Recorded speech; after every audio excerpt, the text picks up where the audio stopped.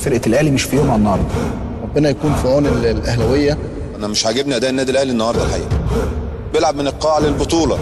فالوضع صعب جدا. خلينا نعترف إن هي فترة فعلا صعبة على النادي الأهلي.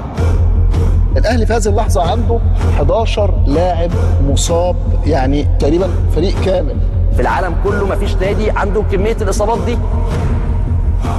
لازم جمهور النادي الأهلي العظيم يكون واقف بجوار الفريق.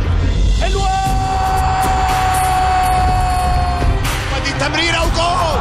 جول جول جول! عرضية جوه منطقة الجزاء وبالكعبه الله! الله!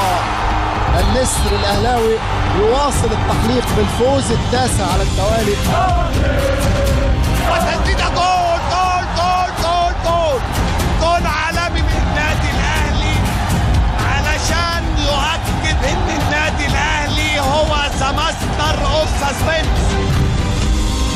النادي الأهلي الكبير.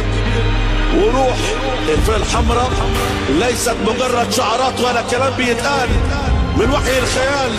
هي حقيقة راسخه على مر العصور والأجيال. الاهلي يصنع التاريخ يكتب الحدوته بالفعل هو من خانة الفرق الأسطورية.